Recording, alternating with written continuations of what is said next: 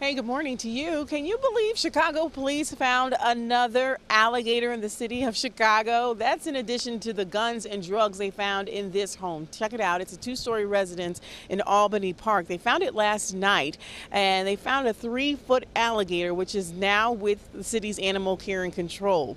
You can see crews going into that home with a catch pole. They come down the stairs finally with the gator inside of a plastic crate.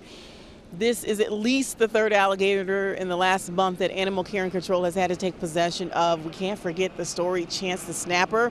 He was a five foot alligator that sat in the Humboldt Park Lagoon for a week before he was caught by an alligator trapper flown in from Florida.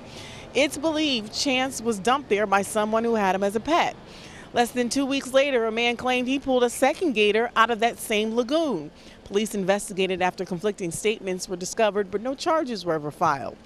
Now, as far as this latest reptile, Chicago police say they were executing a search warrant in the home in the 4000 block of North Troy near Irving Park Road when they made this discovery. And police are not saying why they were searching the home. They don't want to compromise their investigation, but they are saying whoever they were looking for was not there because they are not in custody.